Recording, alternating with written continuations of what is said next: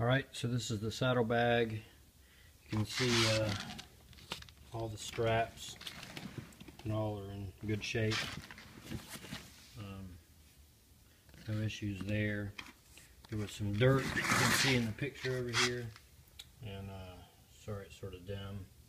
But I started cleaning it with Windex.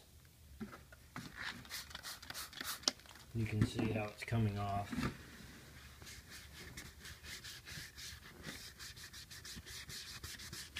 Clean it up some more and take a photo, but you can see where I sprayed and it's starting to come off. So a lot of that's just dirt. Uh, as far as all the zippers, you can see in here, they're still um, working fine. They've still got the sort of slick waterproofing material on them. There's some stuff along all the seams where it's been seam sealed. So, you know, that's something that may need to be redone. But you can buy the stuff. It's starting to peel off a little bit. I think that was done after the fact.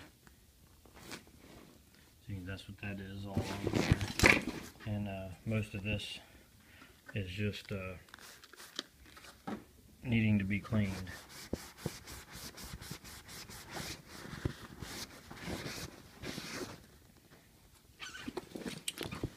Um,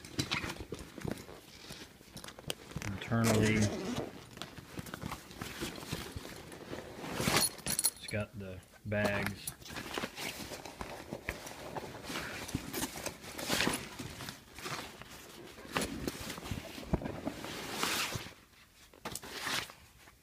For storage.